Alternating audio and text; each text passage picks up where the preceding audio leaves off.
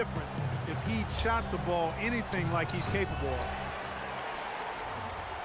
The Bulls have gone five for nine from the field in the final quarter so far. Took him no time at all on that one. And that's now 18 points for Butler. Big time bucket there, and you can expect to see him stay very involved the rest of the way. Gibson with the steal. The drive by Wade buries it. What a beautiful shot to bring him to within three.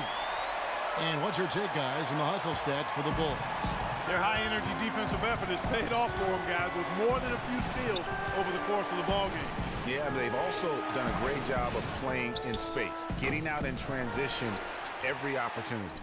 Lopez with the block. And that's out of bounds. Toronto will retain possession.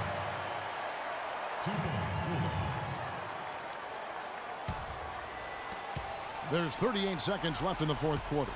Gibson with the steal. Still a chance here, but they need to score. I really agree, but it has to happen on every possession. They need points every trip. As clutch a shot as I have ever seen. In a word, gutsy. Lowry kicks to Sullinger. 11 feet away. Jimmy Butler with the rebound. Oh, tough D on the inside.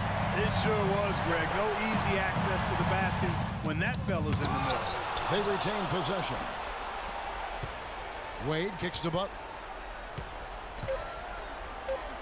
Out to Wade. For the win. It's good! Buries the game-winning shot! Oh! And he wins it at the buzzer! wow.